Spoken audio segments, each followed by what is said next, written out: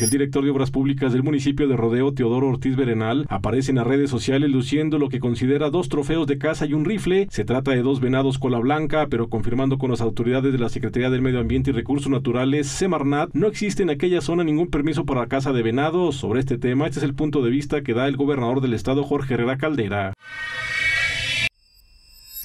Definitivamente tenemos que ser muy conscientes y conservar nuestra fauna y creo que pues hace bien el, el, alcalde en pedir el que firme su renuncia y se retire del cargo porque creo que son situaciones que no debemos de permitir. Por lo pronto, de acuerdo a la información que se tiene por parte de las autoridades, podría tratarse de una caza ilegal de venado cola blanca en rodeo cometida por un funcionario municipal y se va a proceder conforme a derecho, informó para HP Martín Saúl Ceniceros.